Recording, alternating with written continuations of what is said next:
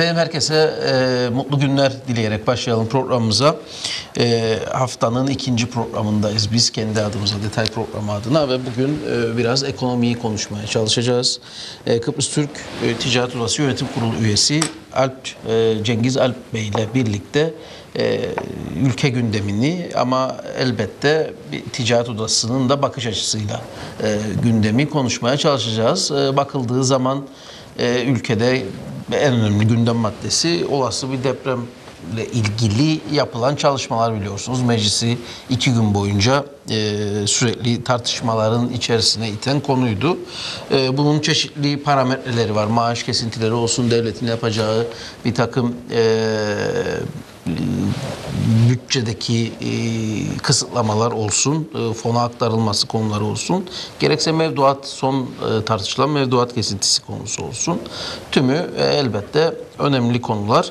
E, bu arada Sayın Fuat Oktay, Türkiye Cumhuriyeti Cumhurbaşkanı Yardımcısı e, yarın e, ülkemize geliyor. Sayın Başbakan e, Ünal Üstel bugün e, sevgili Gökhan'ın konuydu. Orada yaptığı e, açıklamada yarın e, Mali ve Ekonomik İşbirliği protokolünün imzalanacağı öngörülüyor. E, ve bunun da işte aşağı yukarı Türkiye'nin 8 milyar TL'lik bir katkısının yıl içerisinde olabileceğine yönelik bir beklenti vardı. E, tabii bunlar yarın tam olarak netleşecek.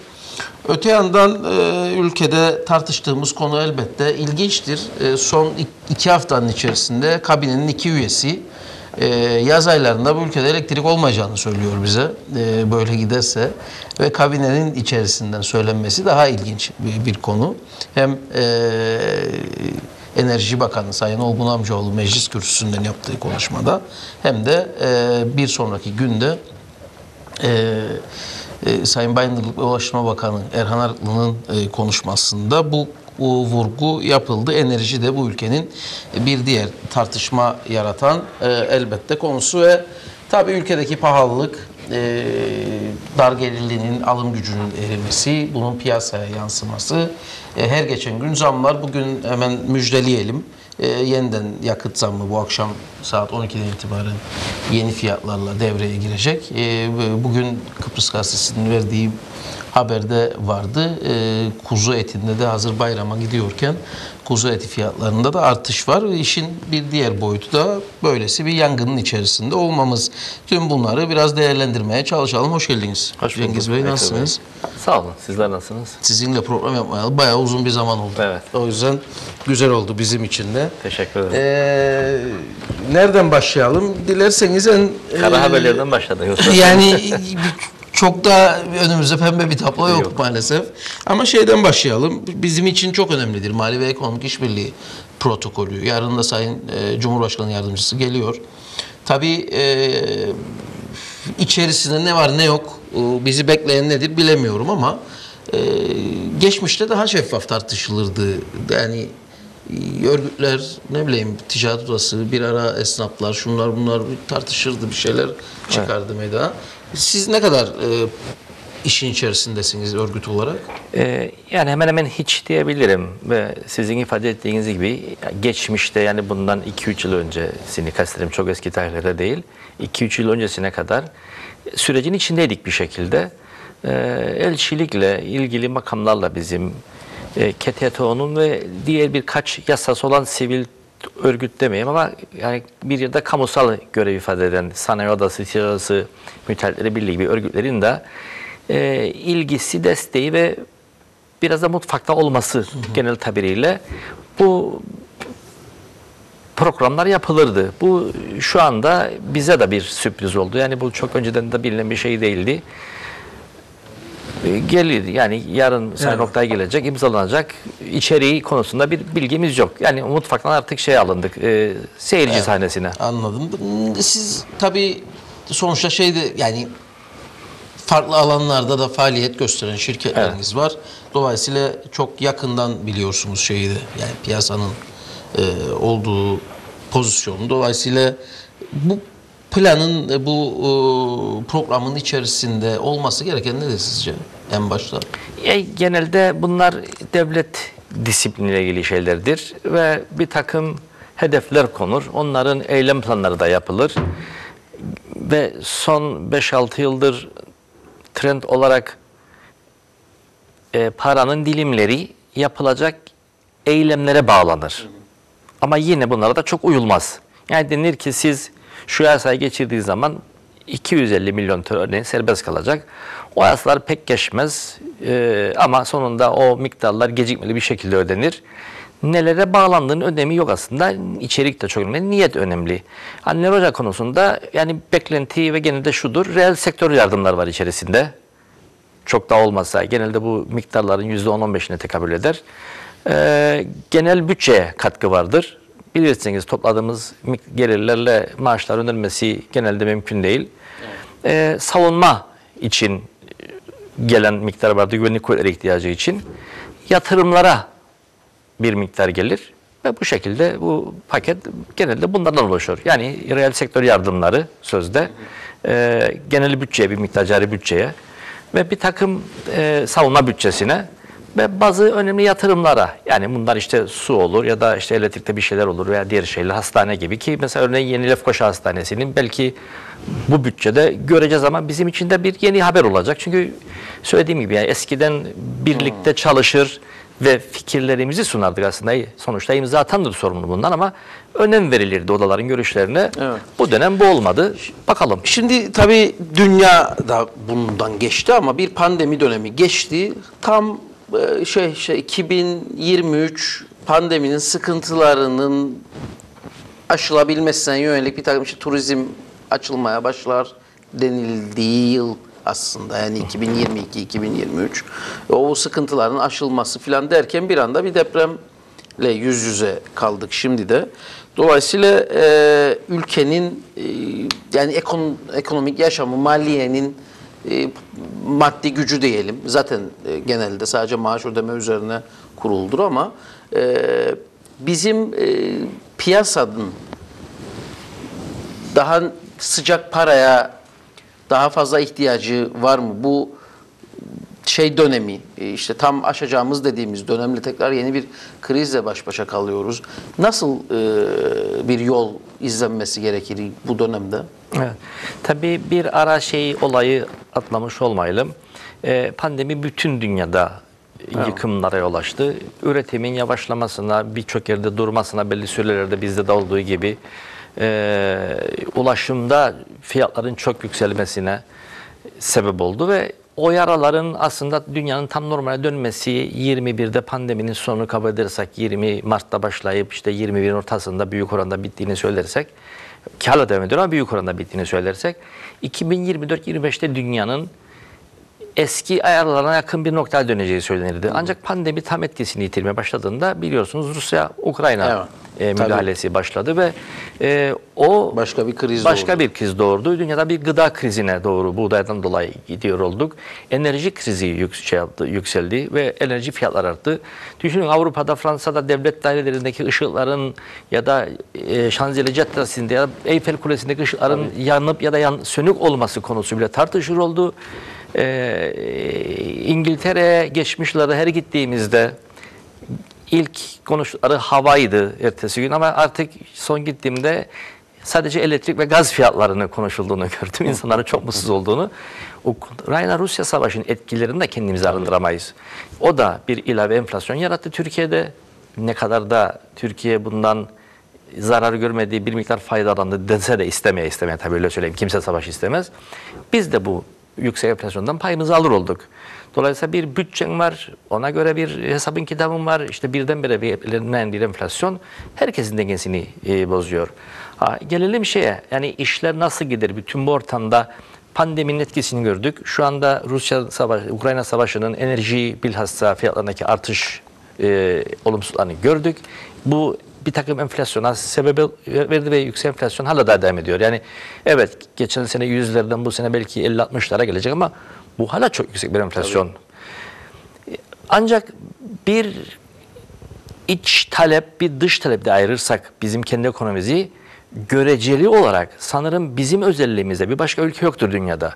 Yani şu anda piyasadaki talebin yani satılan mal ve hizmetlerin neredeyse yarısının alıcısı yabancılardır. Ya, güney. Yabancı derken güneyden gelen Güneyden. misafirlerimizdir, öğrencidir, turisttir ve burada herhangi bir iş yapmadan gelip yerleşen yeni yurttaşlarımız patriotlardır veya yurttaş olmayan şeydir. Burada, Burada fiilen de yaşayan facto yaşayan insanlar. insanlardır. Ve kaygı şudur.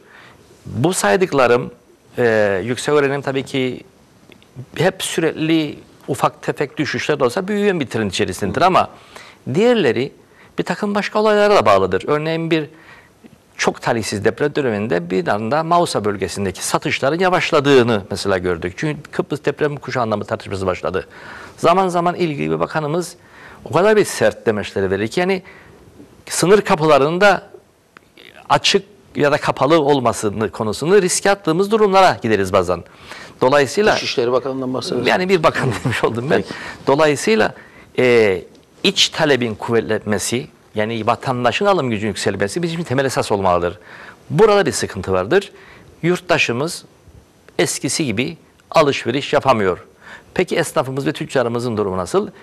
O bahsettiğim güneyden gelen ekstra talep, Diğer öğrencinin yaptığı diğer talep ve diğer yeni yerleşen diğer e, üçüncü ülke vatandaşları piyasayı canlı tutmaya devam ediyor.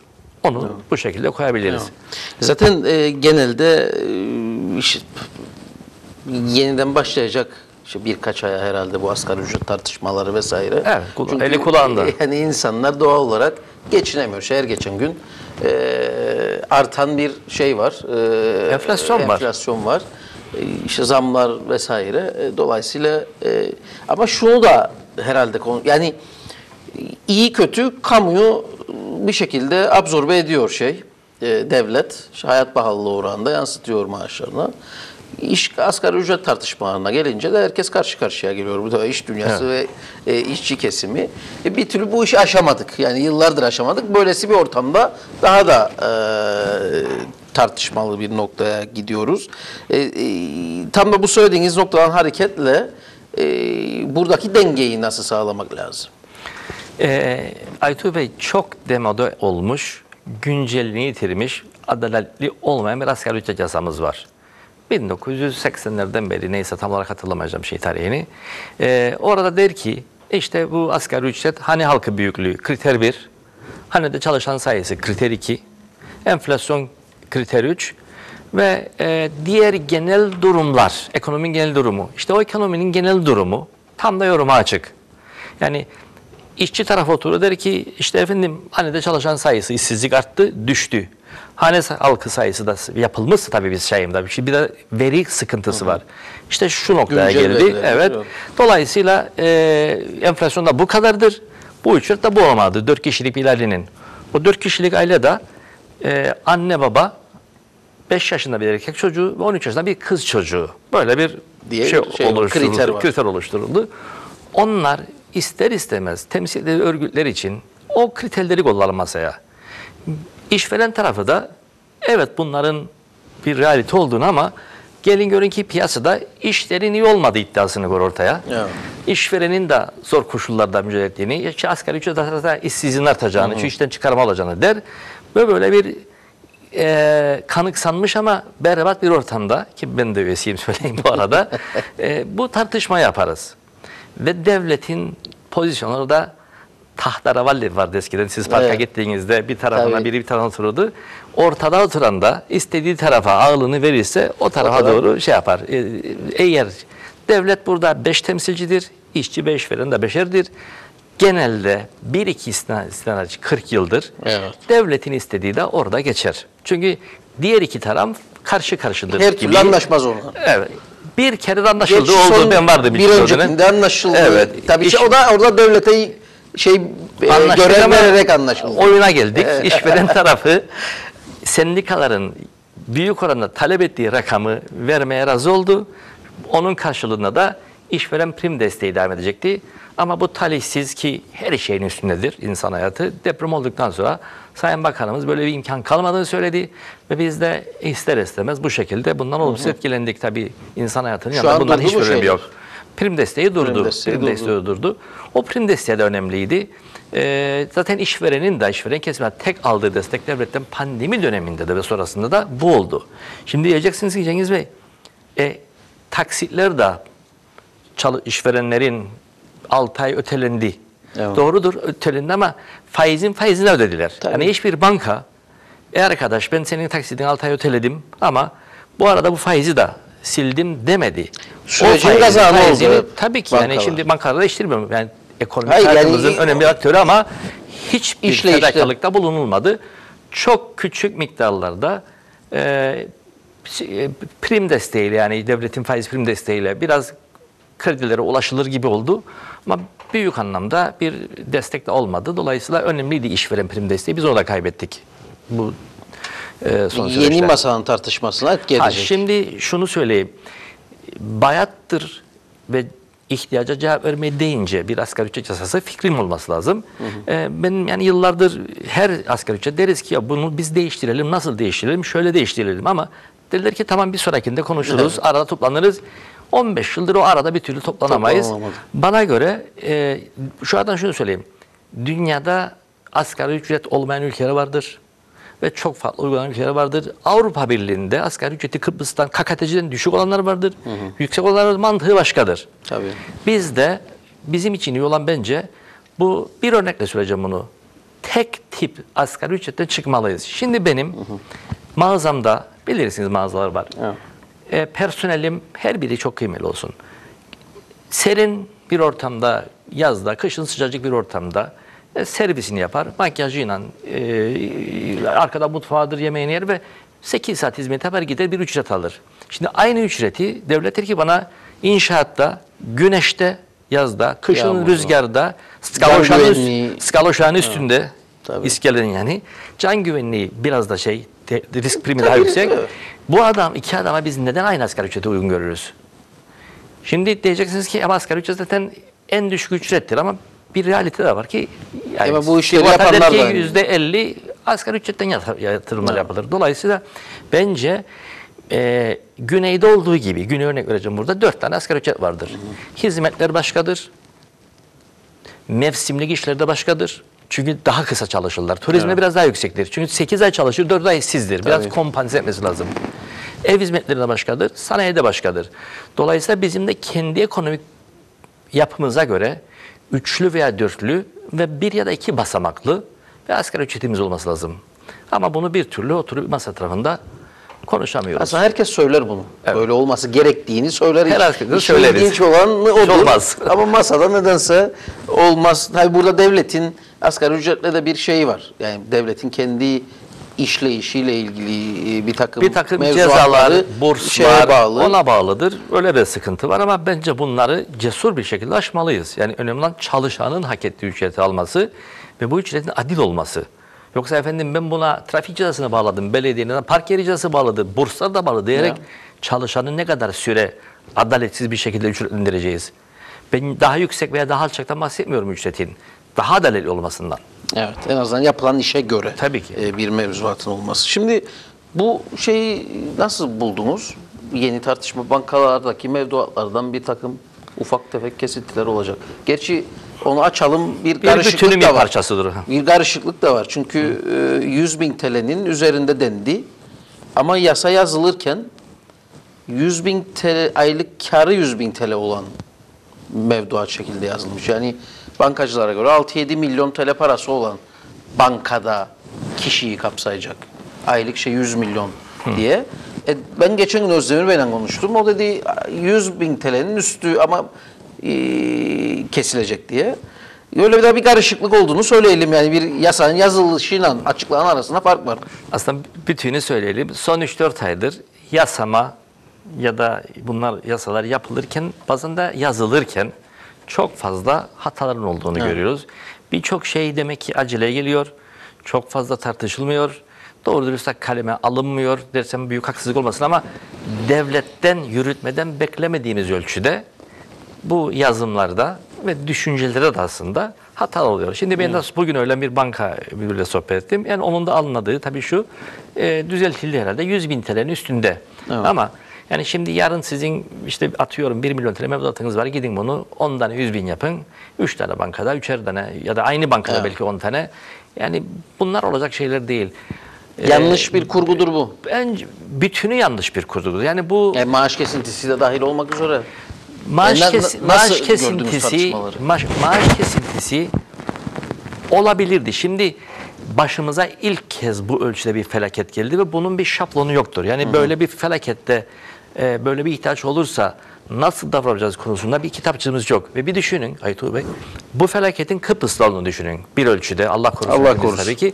Yani o zaman da ne yapacağımız konusunda bir hazırlığımız yoktur. Dolayısıyla aslında bu kesinti ne kadar tartışırsa tartışılsın 8-9 ay sonra sona erecek. Önemli olan tabii şudur. Bu para toplansın. Ben toplansın isterim. Ama şeffaf harcansın. Herkes onu ister. Ha gönüllü olsaydı nere varırdı? Belki daha çok bir miktar olurdu ama onun garantisine kimse veremez. Şimdi bir başına dedi ki ya bu gönüllülükte kalsın. Ama bunun bu ihtiyaç varsaydı, bu illa da bu miktara 1 milyar TL'ye ulaşılması gerekiyorsaydı, hükümetin, yürütmenin bunu bazı kurallara ve kesinlere koymasını ben kabul ederim. O da adil olsaydı. Ki e, bu maaş kesintisinde kademeli bir yükseliş var. Adil olduğunu söyleyelim. Yani bu tartışırsak yüzden önerimiz olabilir. Tabii.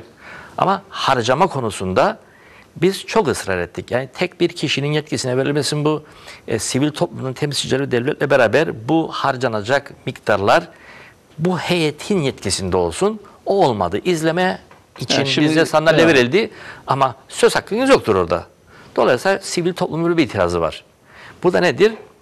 Yürütmeye duyulan güven maalesef, maalesef söylerim keşke farklı olsa son dönemde bu dönemi istediğiniz gibi size esnetin azaldı.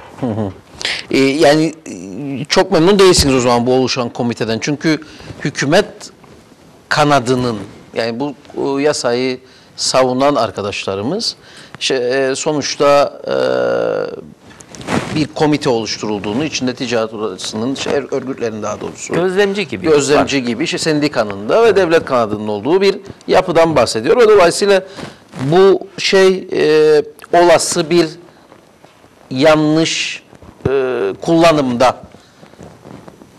görebilecek yani en azından bunun müdahalesini kamuoyuna duyurarak belki yapabilecek ama siz anladığım kadarıyla çok Yani- tatmin olmadı. Yani kamuoyundan ne kadar çekinildiği konusunda artık orada da şeylerimiz vardır. E, endişelerimiz vardır. Dolayısıyla para harcanmadan, yani testi kırılmadan biz müdahil olmak isterdik. Ve şu da olmalıydı. Yani bu yürütmenin, bu devletin, hükümetin bunu yapacak da kapasitesi var aslında. Bu miktarı 1 milyar ya 1.2 milyar TL neyse harcayacağı yeri büyük oranda her fizibilitede yüzde beş artı eksi vardır. Neleri harcayacağı konusunda bunu analitik bir şekilde toplum önüne koymalıydı. Yani ben bir spor salonu yapıyorum ama kaç metrekare ve yaklaşık ne kadar maliyetle? 100 milyon TL. İşte ben buradaki depremden gelen öğrencilerden yüksek öğretimde şu kadar eline şu kadar bir aylık yardımda bulunacağım ki başında bu vardı. Siz deyin o zaman biz burada 3 bin tane tespit ettik. 500 vereceğiz. Ayda 1,5 milyon 9 ayda bu da yapar. Şeyi galiba 13,5 tam milyon. göremedikleri için yazamıyorlar bunu. Ama yani bunda yazarsınız Aytu Bey. Yazama, yani yazmamak bir seçenek değil. Yazarsınız dersiniz ki bu miktarlar biraz değişken olabilir. Biz de bir yatırımı planlarken, fizibilite yaparken bütün veriler bizdedir ama her zaman bir yüzde beş kontingensilere artı eksi olabilir. Burada ciddi bir plan yok. Yani biz dilerdik ki bu paranın harcanacağı yerler daha net olsun, miktarlar daha iyi çalışılsın ve biz harcama yetkisi içinde olalım. Bunların hiçbiri olmadı. Ama bu para toplanmalı mı? Evet toplanmalı. Bu para bu bahsedilen yerler harcanmalı mı? Oraya harcanırsa evet harcanmalı. Kıbrıs Türk halkı 50 60 yıldır destek aldığı ana vatana bu borcu vardır bence. Ve içeride yapılacak olan da çocuklarımız arasında ne yapılacaksa o çocuklarımız da bunu fazlasıyla hak ediyor. Tabii ki. Zaten bizim çocuklarımız. Bizim yani çocuklarımız. sonuçta e, bu ülkenin eğitim kurumlarına giden kendi çocuklarımız. Elbette yabancılar da var ama e, dolayısıyla gününün yarısını orada geçiriyor. E, ve e, işte aslında bir nevi de iyi oldu. Yani yıllardır biz eğitimde şeyi tartışırız. E, her eğitim başlangıcında okulların altyapısını e, her zaman tartışıldı ama hiç e, finişe gitmedi. Evet. O iş. Sadece ihtiyaç duyulan yere bir tane işte e, biri yapsın bize bunu. X bir iş adamı yapsın. E, da sıkıntı aşılsın çünkü sınıflar 40-50 kişi oldu filan diyerek böyle sürece gittik. Şimdi Ha, çok şükür de- elden geçirilmesi. Evet, yani bazı hayırsever iş adamlarımız son e, 10 yılda yaklaşık 20'ye yakın okulda kazandırıldı yani ama yetmiyor. Nüfus artıyor. Dışarıda gelen nüfusun ki onlara karşı değiliz. Çocukları var. şey de var ama. Yani yoğun bir şekilde son 10 yılda Yabancı e, hayır hayır e, özel okullara gönderenler de devlet okullarına kaydırıyor. Ekonominin genel Ha, gidişatı evet, içerisinde yani doğrudur. bence o da ciddi bir Ama bir de e, belli rakam. bölgedeki Mutlaka. nüfus Zaten İskele bölgesi, Bölgesinde. şimdi Türkçe konuşan çocuk azaldı orada. Doğrudur. Yani Ama onun buna başka bir sorun olmalıyız. var. Yani bu Tanrı'nın demem yani coğrafyanın bulunduğumuz şartların her neyse ki çoğu zaman da şikayetçiyiz. Bize verdiği bir nimettir. Güzel bir iklimimiz var. Ülkemiz hala da hala da yerli vatandaşın ev alma şartları zorlaşmış olsa bile küresel baktığınız zaman Güney Kıbrıs'tan? Antalya, Mersin bölgesinde hala daha ucuzuz. Dolayısıyla bir cazibemiz var ki bu insanlar buraya geliyor. Dolayısıyla onların Bu da ayrı bir ihtiyaçları da- tartışmayı beraberinde getirdi. İşte yabancılar geldiği için piyasa yükseliyor. Bu defa yerliler artık e, eve sahip olamıyor. Çünkü insanlar herkes borçlanarak zaten bunu yapabiliyordu. E şimdi borç faizleri çok yüksek. %30'lara varan faizler var. E, mümkün değil. Yani maaşınızdan fazla taksit miktarı çıkıyor genelde. Evet, şimdi güzel söylediniz. Türk parasının istikrar olduğu 2006 2014-15 dönemlerinde e, hem döviz baskılanmıştı çünkü Evet. Türk parası hizalıydı, enflasyon azdı ve insanlar borçlanarak bir şey ödebiliyordu. İki kişilik e, yani bir hanede iki tane çalışan varsa ve genelde bunlardan memur bir Kıbrıs'ı tabiriyle bir tanesinin maaşı taksit yetiyordu ama hem faizlerin yükselmesi hem de kurların yükselmesi artık bunu imkansız Evet. gibi kıldı. Ancak yapmamız gereken Aytuğ Bey dışarıdan gelen bu nakit akışını, para akışını ülkeye ser, yani bizim biz bir ada ekonomisiyiz ve üç ayak üstünde ada ekonomisi. Yani bizim yapımız. Hizmet ihracı. Bu da nedir? Ee, yüksek öğrenim hizmet ihracı dersiniz. Turizm hizmet ihracı dersiniz. Adam gelir burada aslında yediği içtiğinden e, pek para kazanmazsınız. Ama ona verilen hizmetten bu ülkede para kalır. Bir bardak portakal suyunu içtiğinde belki 10 TL maliyeti 3-5 olabilir ama yani o 5 lira hizmetinizdir sunduğunuz. Üçüncüsü de bu inşaat sektörüdür. Yani biz bunlardan vazgeçmek değil, yerli vatandaşın alım gücünü nasıl yükseltiriz onu konuşmalarımızı bu da yani daha iyi vergi toplamaktan ve daha iyi planlama yapmaktan ve sosyal konut projesi yapmaktan geçer belki. Yani bu bu ülkede 80'lerde 90'larda yapıldı. Belki başarısız o dönem şey yapı ama tekrar biz bu yeni koşullarda sosyal konut Aslında yapmayı düşünmeliyiz. Sosyal konut bence dönemi içerisinde çok başarılı oldu. Birçok insan Yapısal konut olarak sahibi oldu. kaliteli değillerdi. O da İlk, kastettim. ilkler, ilkler daha iyiydi. Yani o dupleks olanlar. Sonra apartmana geçince biraz galiba orada Evet, şey yani bugünkü oldu. hallere baktığımız zaman tabii. hani 30 yılda bu hale e, düşmemeliydiler. Yıkılması gereken diye çıktı zaten Lefkoşa'daki, e, Taşınköy'deki e, apartman yapıları. E, sevgili e, şeyin e, unuttum da çocuğun ismi neyse. İsim söylemeyin. Mimar arkadaş. Yok kendi Ha, Facebook'tan evet. yayınladı. Yani ben buradan şey aldım dedi ama e, Allah'ı unuttum. Neyse. E, şeye de değinmek isterim. E, çünkü hem vatandaş için çok ciddi bir sorun olarak duruyor. Hem maliyeti açısından hem arzı güvenliği açısından yeni de tartışma konumuzdur. Geçi hiç de değişmeyen tartışma konumuz var. Dönemsel olarak e, elektrik kurumunu tartışır, konuşuruz. Şimdi e,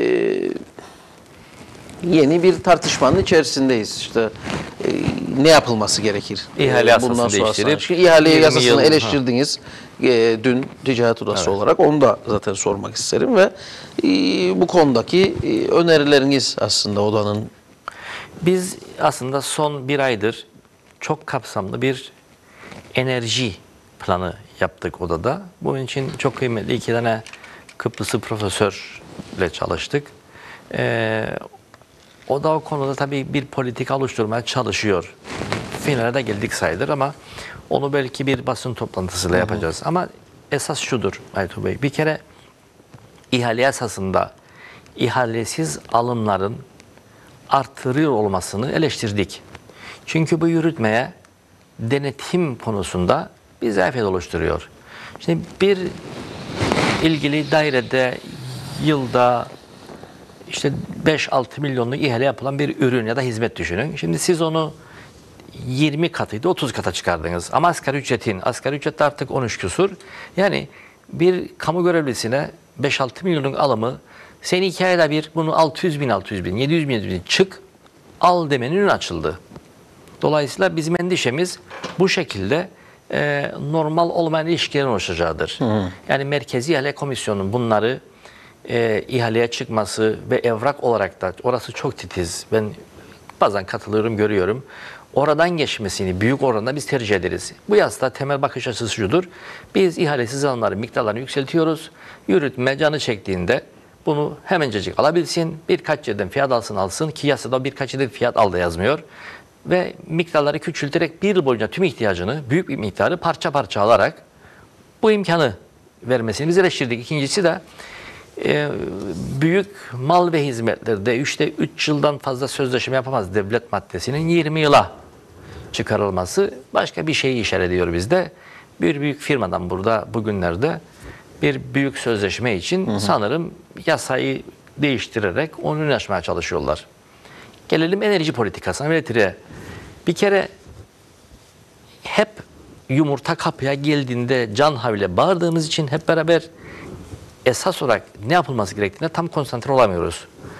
Dünyada hidroelektrik santralı olmayan yani sudan elektrik üreten santral olmayan ülkeler için nükleer santralı olmayan ülkeler için çünkü nükleer enerji tehlikeli ama en temiz enerjidir. Evet. Ee, Tanrı'nın vergisi Orta Doğu gibi petrol yataklarınız yoksa bu bellidir. Dünyada en ucuz yakıt ve en çevreci gazdır. Şimdi yenilenebilirden sonra baktım. Bizim yenilenebilir enerji dediğimiz ki rüzgarda çok zayıfız. Çok az Güneştir imkan var. bizim. Güneşten bu dünyada kriteri yüzde yirmiydi. Yüzde yirmiyi yenilenebilir enerji hiçbir zaman geçmemeli denirdi. Şimdi yenilenebilir enerjilerin depolanması çok pahalı da olsa e, yapılabiliyor ama o da ucuzlayacak diyelim ve belki bir gün biz güneşten gündüz üretip gece de harcayabileceğiz. Ama şu anda durumda değiliz. Gaz ile üretime geçmeliyiz. Bir kilowatt enerji için işte 13-14 e, dolar sent petrol fuel gerekir ama gaz bugün dünyada 4-5 senttir o miktar üretmek için. Daha çevrecidir, temizdir. Bizim nasıl geçmişte bu ülke bir kesintiye razı oldu ve bir santral yaptık. Şimdi de e, Teknecik bölgesine bir LNG elektrik üretim tesisi ki bu 120-150 milyon dolar da 3-4 sene önce konuşulduğunda euro bugün 180 olabilir çünkü her şeyin fiyatı arttı dünyada ama kalıcı çözüm bizim bir kere bir LNG e, gaz üretim tesisine sahip olmamızdan geçer. O zaman siz bu ülkedeki vatandaş ve işletmeler için daha uygun fiyatta, daha güvenli, daha temiz ve daha istikrarlı bir elektrik üretme şansınız olur. Bugünkü gibi jeneratörlerle işte 8 tane falanım var, 17 buçuk, 4 tane bizim var, bilmem kaç buçuk. Bu olacak şey değil. Ve hala da bu ortamda biz yine bu jeneratörlere bağlı olarak Karapaz'da, yani Kalecik'te 20 yıllık sözleşme yapmaya çalışıyoruz. Bu olacak şey değil. Bizim yapmamız gereken aynen söylediğim gibi bugünkü kurulum 410'dur ama ürettiği 360 civarındadır megawatt.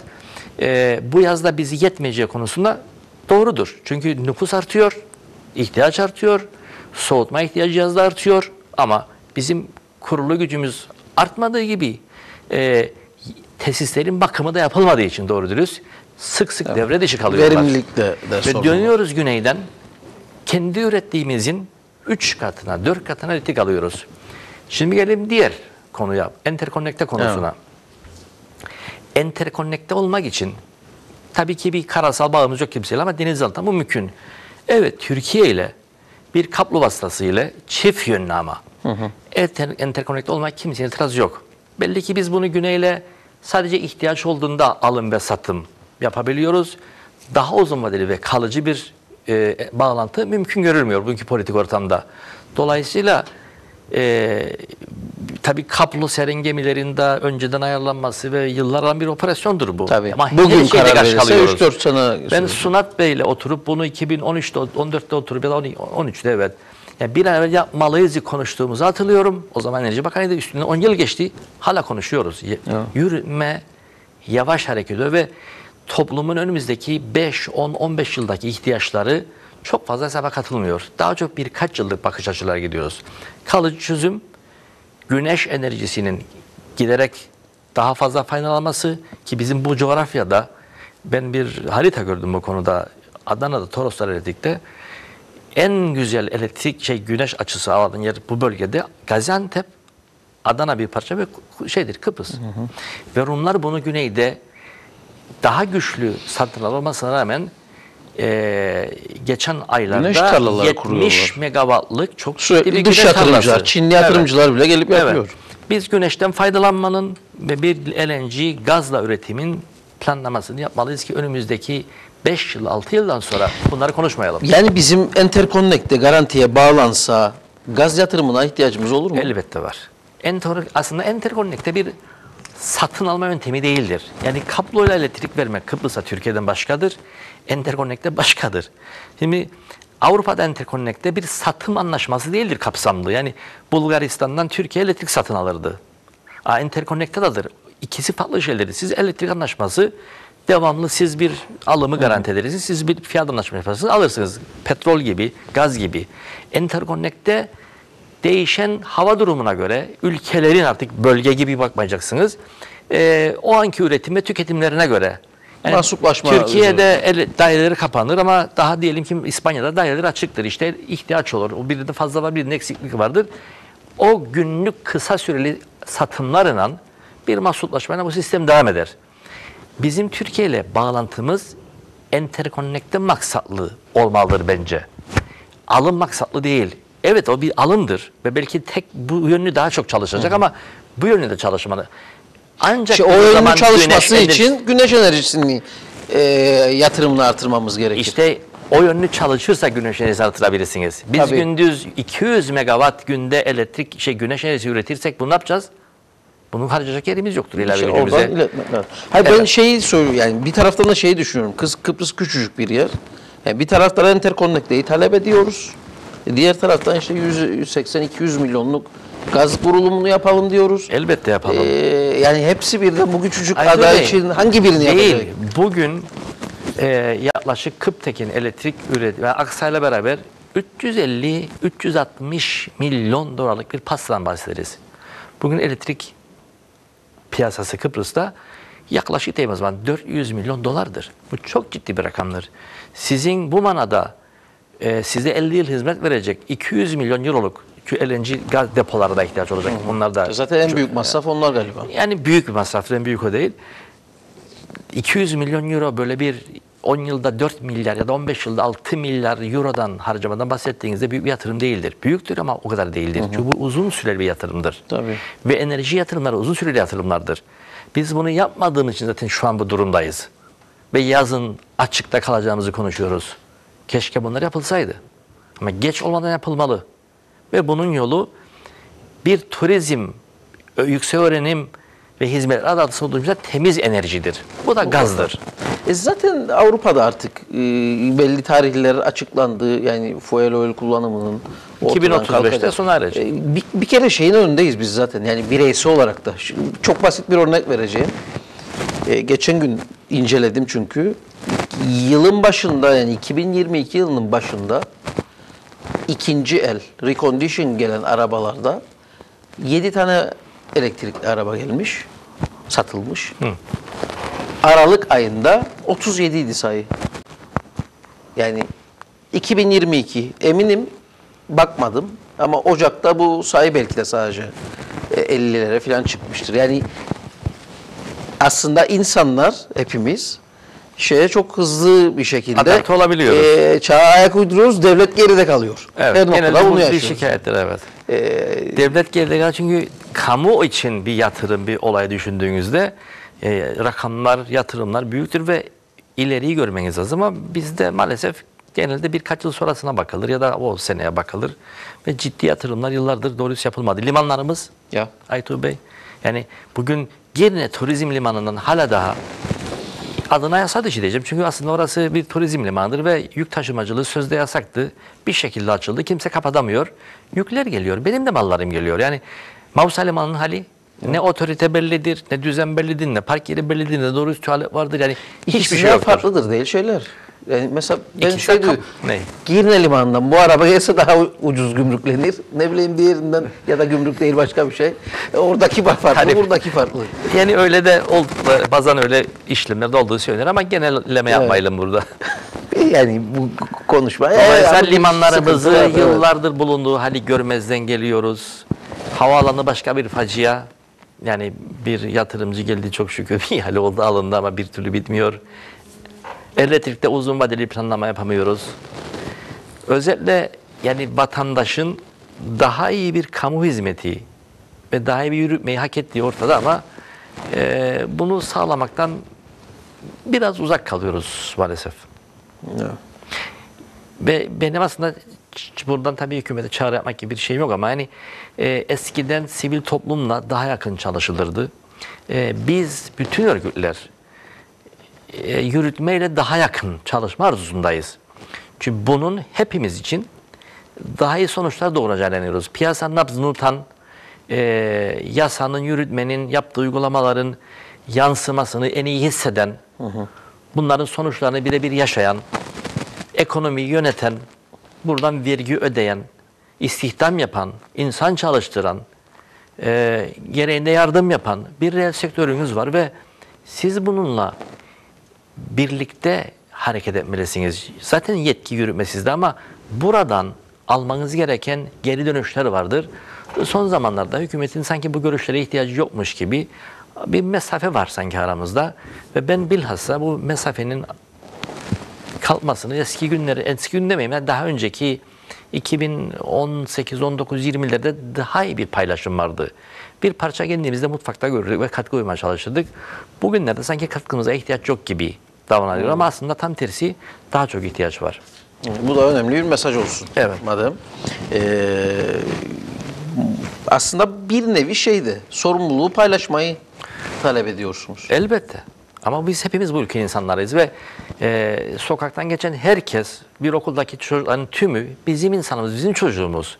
Yani daha iyi bir hayat, daha iyi bir refah, daha iyi bir sosyal hayat, e, daha iyi yollar, daha iyi bir ekonomi yaratmak için beraber çalışmaktan başka şansımız yoktur. Aslında şunu da koyacağım bunun içerisine. Tube son sözüm olsun bu soruda.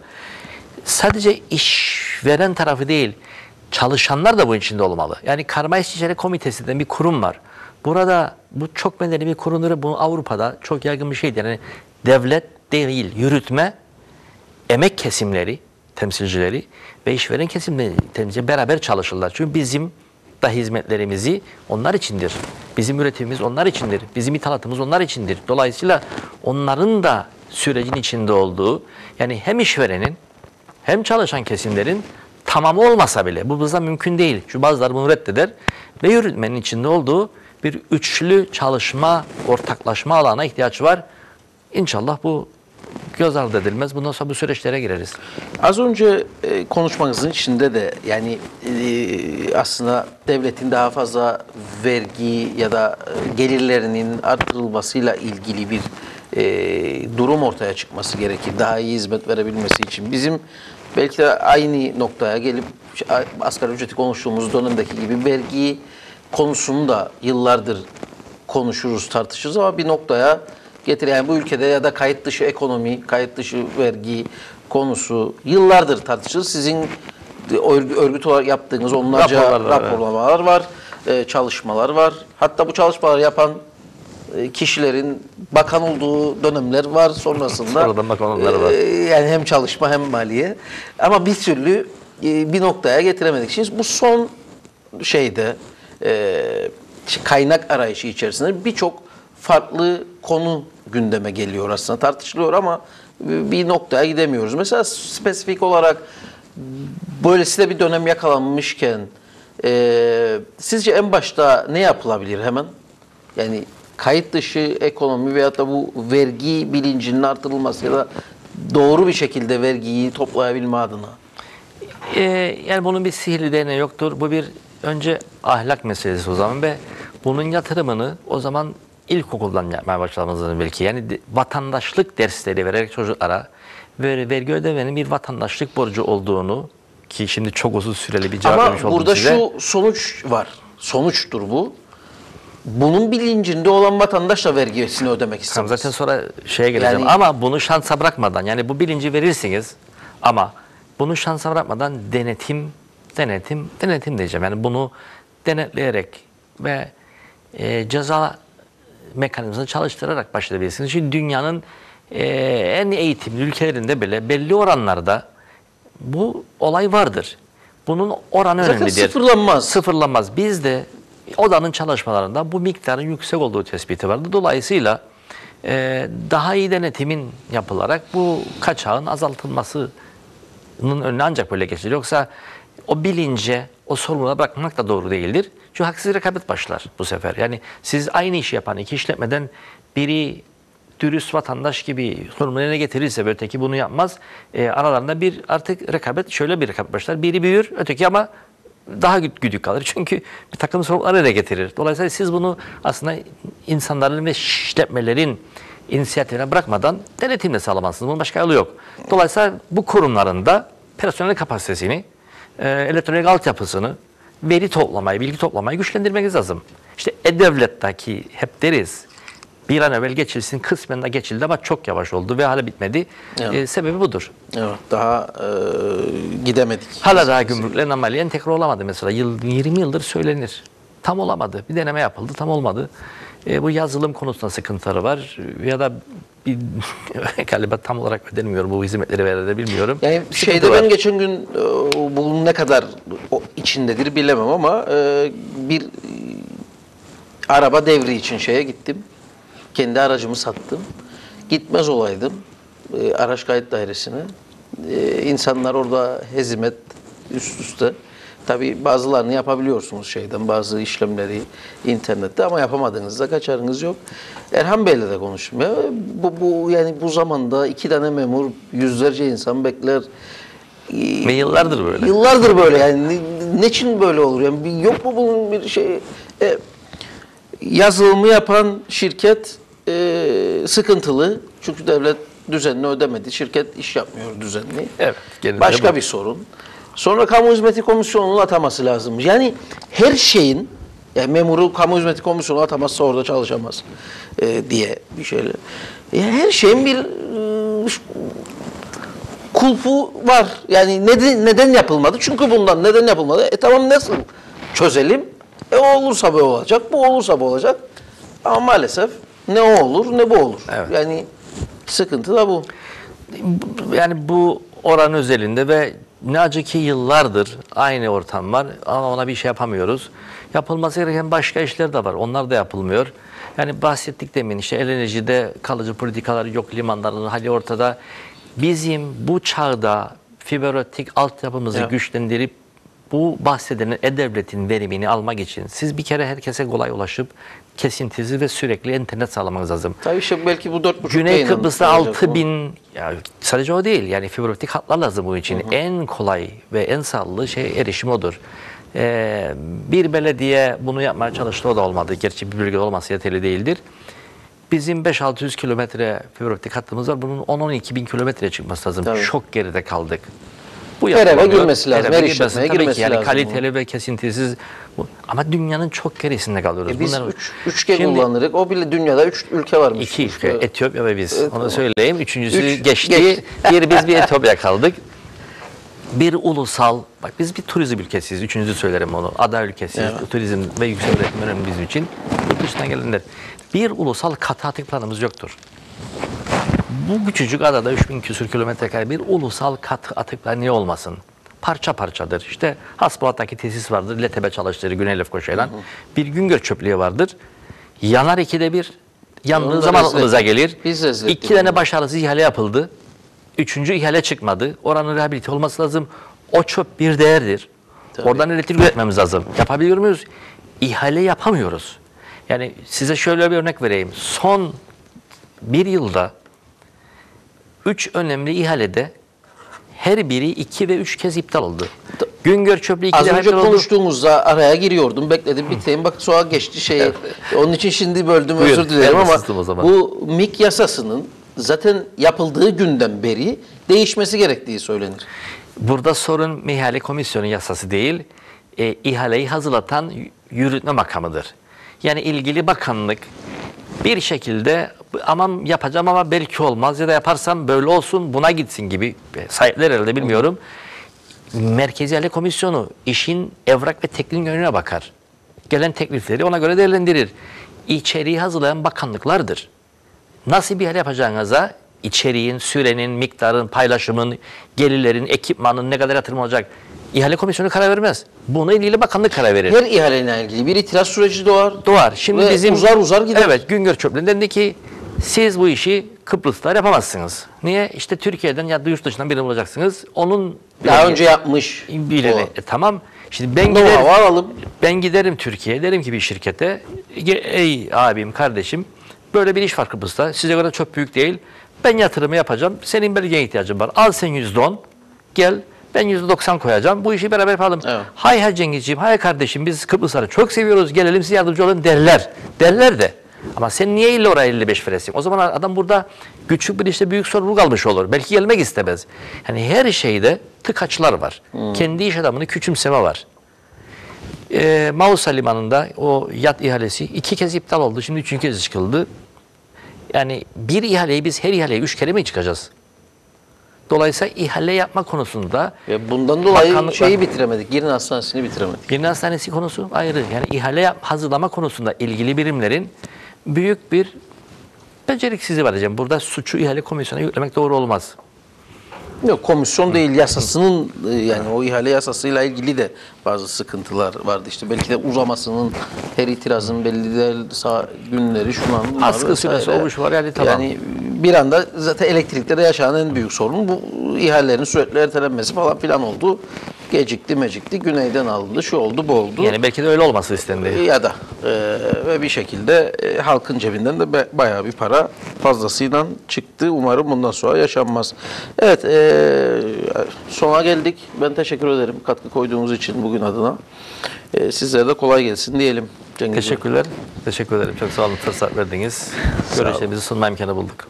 Efendim bugün e, Kıbrıs Türk Ticaret Odası e, şapkasıyla tabii ki e, yönetim kurulu üyesi Cengiz Alp bizlerle birlikteydi ve e, güncel konulara özellikle ekonomiyi de ilgilendiren güncel konulara e, onların bakış açısıyla bir değerlendirme yapmış olduk. Programımız sonuna geldik. E, bugünü noktalıyoruz. Bizim programımız adına haftayı da noktalıyoruz. E, herkese e, mutlu, huzurlu, sağlıklı günler dileyelim. Tekrar görüşmek üzere efendim. Herkese iyi günler.